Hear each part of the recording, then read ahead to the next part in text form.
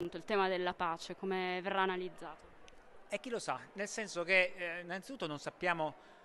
a che punto saremo quando arriveremo al Salone del Libro, quindi chissà se ci sarà ancora la guerra, se sarà finita, come sarà finita. Certo è che ovviamente l'auspicio è che la guerra sia finita quando arriveremo al Salone del Libro, però sicuramente anche in questo caso avremo un mondo molto diverso rispetto a quello avremmo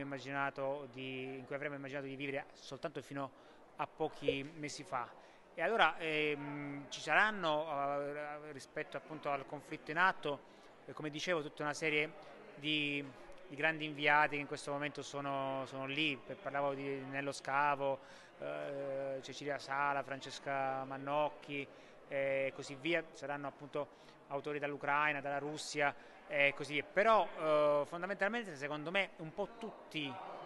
gli scrittori, le scrittrici, i pensatori che verranno al Salone si sentiranno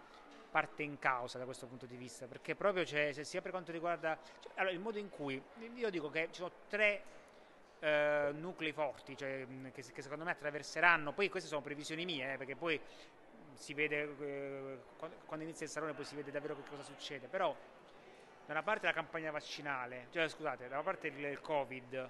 dall'altra la guerra, dall'altra il cambiamento climatico, sono diciamo, le tre grandi cose, le, le tre grandi emergenze diciamo così, che hanno cambiato o che stanno cambiando profondamente il mondo. La cosa per me allarmante è che forse diciamo, l'emergenza, senza poter fare,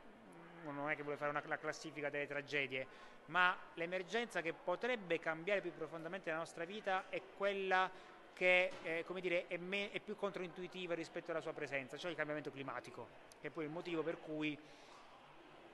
abbiamo chiamato Amitav Ghosh ad aprire il Salone del Libro, perché il cambiamento climatico, a seconda del modo in cui sarà gestito, determinerà anche eh, diciamo, eh, i temi della pace fra i popoli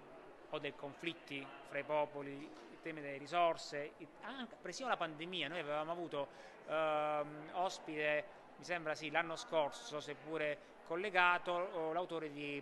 di Spillover, che con dieci anni d'anticipo aveva detto guardate che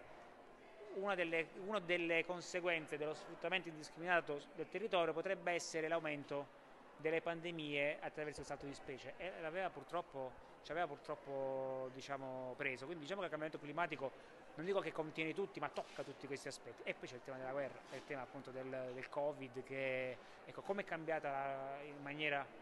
impro, improvvisa i tre grandi cigni neri, diciamo così, anche se però il eh, il cambiamento climatico non è un cignoniere, è qualcosa che vedevamo proprio che a, a guardare bene lo si vedeva insomma, avvicinarsi. Credo che tutti gli autori, tutte le autrici coinvolte si, saranno, si sentiranno coinvolte da questi temi.